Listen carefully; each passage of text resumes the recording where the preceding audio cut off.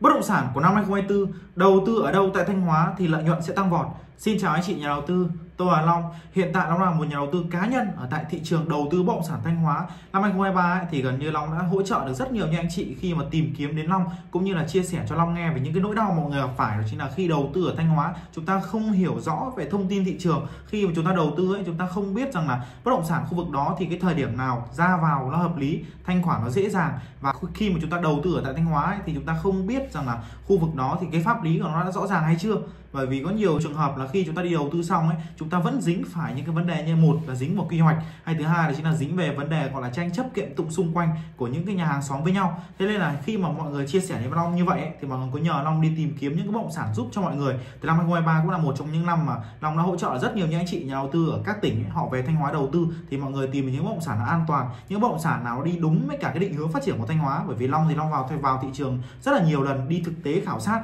Thế nên là trong năm 2024 này thì Long sẽ chia sẻ cho mọi người những cái vị trí, những cái loại hình đầu tư bất động sản mà nó sẽ khiến cho chúng ta khi mà đầu tư lợi nhuận nó sẽ có tỷ lệ thắng cao nhất khi mà chúng ta đi đầu tư ở bất động sản Thanh Hóa. Vậy nên là mọi người hãy cùng nhau xem hết cái chủ đề video của Long để chúng ta cùng nhau đưa ra những góc nhìn cá nhân để khi chúng ta đầu tư cho năm 2024 chúng ta tránh được những cái rủi ro và chúng ta, gọi là, có cái sự thắng lợi khi đầu tư ở bất động sản Thanh Hóa cuối năm 2023 ấy, và đầu năm 2024 thì thị trường Thanh Hóa vừa có những cái thông tin rất là tích cực. Đó chính là về vấn đề gọi là vốn đầu tư công. Thì Long đã liệt kê ở đây Long sẽ chia sẻ cho anh chị nhà đầu tư. Thứ nhất là tổng cái vốn đầu tư công của Thanh Hóa trong năm 2024 ấy, thì nó dao động khoảng gần 12.000 tỷ đồng đầu tư các cái tuyến đường và đầu tư cơ sở hạ tầng ở tại Thanh Hóa. Thì nó sẽ dự kiến bao gồm các cái vốn đầu tư ngân sách của địa phương sẽ là 9,1 nghìn tỷ đồng và các trong đó là chỉ xây dựng cơ bản các cái vốn tập trung ở trong nước là 1.400 tỷ đồng. Để đầu tư từ cái nguồn tiền gọi là sử dụng đất ấy, thì sẽ dao động khoảng tầm 7 1.600 tỷ đồng. Thì khi mà Thanh Hóa đưa ra cái định hướng là đầu tư công cho năm 2024 nhiều như vậy, nó sẽ nhiều hơn so với cả năm 2023 ấy.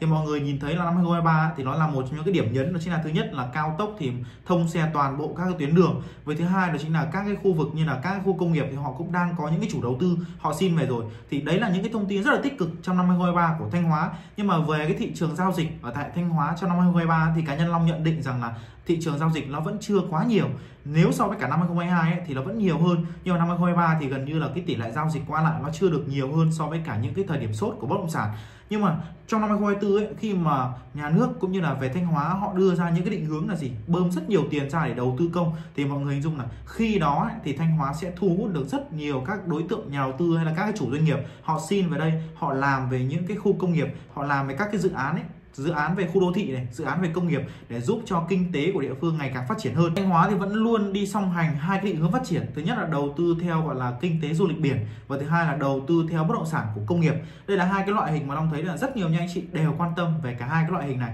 Mỗi loại hình nó đều sẽ có những cái ưu điểm và nhược điểm khác nhau nhưng mà định hướng phát triển chung ấy, thì nó vẫn tối ưu phát triển về công nghiệp mạnh hơn là du lịch giai đoạn của năm 2023 ấy, thì gần như là các cái khu vực uh, Thanh Hóa thì đang được đẩy mạnh về cơ sở hạ tầng. Có nghĩa là toàn bộ các cái tuyến đường cao tốc khi mà thông xe rồi ấy, thì nó tạo ra trong Thanh Hóa có một cái hiệu ứng đó chính là sân bay có này cảng biển có này cao tốc bây giờ cũng có rồi. Thì gần như là đây là một trong những cái điểm nhấn để thu hút các cái doanh nghiệp đầu tư nước ngoài họ về đây họ đặt các cái nhà máy họ đặt các cái trụ sở về đây. Ví dụ như là các cái thị trường phát triển rồi như là Quảng Ninh này Hải Phòng hay Bắc Ninh Bắc Giang ấy thì các khu vực này thì về cái vị trí của nó thì rất là thuận lợi cho cái việc gọi là di chuyển đi ra cảng biển di chuyển đi ra sân bay và di chuyển đi các cái tuyến đường cao tốc ấy. Thế nên là các khu vực này nó phát triển rất là mạnh tay về công nghiệp. Thì ở Thanh Hóa thì có một cái may mắn, đó chính là có cả ba cái loại hình này chỉ là Thanh Hóa thời điểm hiện tại nó vẫn chưa được gọi là lấp đầy 100% chúng ta tìm hiểu đầu tư ở tại Thanh Hóa ấy, thì về cái diện tích công nghiệp ấy, nó chỉ lấp đầy đâu đó chỉ khoảng tầm gần 20% thôi. Thế nên đây là một trong những cái điểm lợi của Thanh Hóa khi mà nhà đầu tư nào mà nhìn ra mà chúng ta đầu tư ven các khu nghiệp mà chúng ta phải hiểu rõ được cái giai đoạn từng tiến độ của các khu công nghiệp đi đến đâu rồi để chúng ta có thể là khoanh vùng các khu nghiệp để đầu tư ven các khu nghiệp như vậy. Theo đánh giá của Long về năm 2024 ấy, thì Thanh Hóa sẽ là một trong những cái nơi mà sẽ thu hút được nhiều các tập đoàn về đây bởi vì năm 2023 là một trong những cái năm mà điểm nhấn. Long thấy rằng là rất nhiều các cái doanh nghiệp ấy, họ đã về Thanh Hóa họ khảo sát rồi. Chỉ là những cái doanh nghiệp lớn ấy thì họ chưa, gọi là, đưa ra quyết định là có đầu tư ở đây hay không. Nhưng họ đã thấy là về Thanh Hóa họ khảo sát, họ khảo sát các cái khu công nghiệp lớn như là Lam Sơn Sao Vàng này, hay các khu công nghiệp lớn như là Phú Quý, hay các khu công nghiệp như là phía Tây của Thanh Hóa này. Đây là các khu nghiệp mà thuộc, gọi là, top đầu của Thanh Hóa thì các doanh nghiệp lớn họ cũng đã về, họ xem xét rồi. Chỉ là họ chưa đưa ra cái quyết định là có đầu tư hay không thôi. Thì năm 2024 thì Long tin rằng khi mà những cái lý do như là cao tốc hai là về gọi là cảng biển và thứ ba đó chính là về ờ, sân bay ấy, thì thanh hóa đáp ứng đủ hết rồi. Và có một điều rất là quan trọng mà các doanh nghiệp rất thích đó chính là người dân thanh hóa thì rất là đông. Thế nên là khi mà các doanh nghiệp các tập đoàn lớn về họ chỉ cần xây dựng nhà máy đi thôi thì không cần phải đi đâu tuyển kêu gọi người về mà chính những người dân thanh hóa người ta có thể là di chuyển từ các khu vực khác họ sẵn sàng họ rời bỏ những công việc lương cao hơn ví dụ tầm 10 đến 12 triệu. Họ về quê họ làm với mức lương khoảng tầm từ 8 đến 9 triệu thôi để họ thứ nhất là hạn chế cái chi phí đỡ phải đi xa nhà tìm kiếm các công việc ở xa quê ấy thì mọi người sẵn sàng người ta về tại trực tiếp ở tại thanh hóa người ta làm việc. Đấy là một cái lợi của thị trường đầu tư bất động sản thanh hóa khi mà có cả bốn yếu tố. Thứ nhất là cơ sở tầng và cái nội lực của thanh hóa thì long đánh giá là đây là một trong những thị trường mà tại sao đặt ra những câu hỏi là rất nhiều những nhà đầu tư người ta muốn về đây đầu tư. Bởi vì là khi một cái thời điểm mà thị trường thanh hóa sốt thì long thì long làm bất động sản thanh hóa trong một giai đoạn sốt thì long thấy rằng là năm tháng 6 đến tháng 12 của năm 2022 ấy, thì các cái thị trường ngoài bắc thì gần như đều đóng băng hết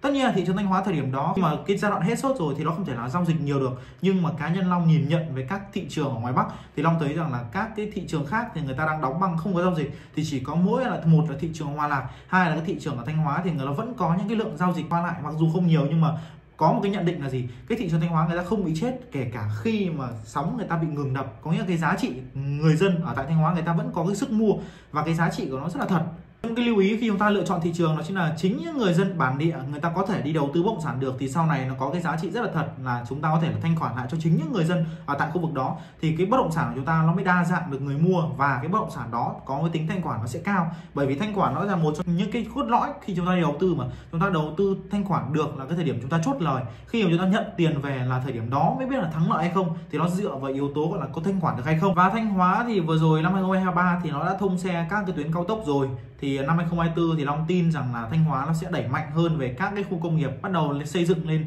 hình thành lên các nhà máy để mục đích là gì? Lấp đầy dần dần dần dần để giúp cho kinh tế của Thanh Hóa nó phát triển đồng đều bốn phía. Và xíu nữa Long sẽ chia sẻ cho mọi người rõ hơn về cái hướng đi đầu tư ở đâu ở tại Thanh Hóa năm 2024 thì nó sẽ là tốt nhất và mình sẽ đi theo cái hướng đó thì tính thanh khoản nó sẽ cao bởi vì bất động sản công nghiệp ở tại Thanh Hóa nó vẫn là một trong những điều mà Long thấy là được chính phủ chú trọng rất là mạnh. Thanh Hóa thì được phê duyệt quy hoạch là 12.000 hecta làm về công nghiệp với 12.000 hecta làm về công nghiệp như vậy ấy, thì nó là một con số rất là khủng khiếp. Khi mọi người nhìn vào một trong những khu nghiệp mà lớn nhất ở tại khu vực gần ngoài Bắc của mình nhé đó chính là khu vực ở Bắc Ninh hay là Bắc Giang à, các khu công nghiệp lớn là dao động khoảng tầm 1.000 hecta là khu nghiệp Samsung ấy thì người ta chỉ có 1.000 hecta thôi. Mà Thanh Hóa định hướng phát triển là 12.000 hecta to bằng gọi là ờ, 12 lần khu nghiệp Samsung nó sẽ kéo được bao nhiêu người người ta về người ta có công an việc làm. Đấy là cái định hướng mà mọi người có thể là tham khảo trong năm 2023 chuyển mình sang năm 2024 và những cái gì mà Long chia sẻ điều quan trọng ở trong chủ đề video ngày hôm nay, đó chính là Long sẽ chia sẻ về cái góc nhìn của Long về thị trường năm 2024 chúng ta có thể đầu tư ở đâu. Thì thứ nhất là chúng ta có cái lợi nhuận tăng vọt